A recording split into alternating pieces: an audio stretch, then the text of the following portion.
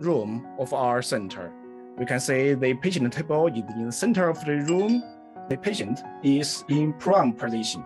Therapeutic ultrasound is from the lower part to the upper part. The one accepted uh, deep sedation. It's de it depends on the situation for the patient and the purpose of our operation. Well, this is the uh, chief doctor for this uh, operation. And this one is the image before treatment with the image helped real-time ultrasound guided and less bubble enters to the tumor. Each solution got a hyperecho change. We call this a massive grayscale change. Almost no enhancement happened here. First, the HIFU treatment will benefit patients with pancreatic cancer for survival.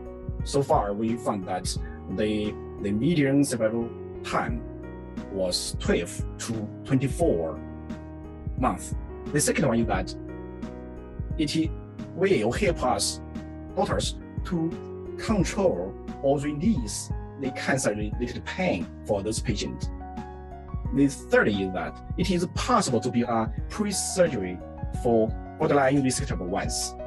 I believe the surgeons will like this idea to use this non-invasive treatment to help them to change the uh, stage of the patient and perform a, R0 resection for pancreatic cancer. Also, there is strong evidence that the HIFU treatment will improve the quality of life for patients with pancreatic cancer. So finally, we believe it is a safe and minimal invasive treatment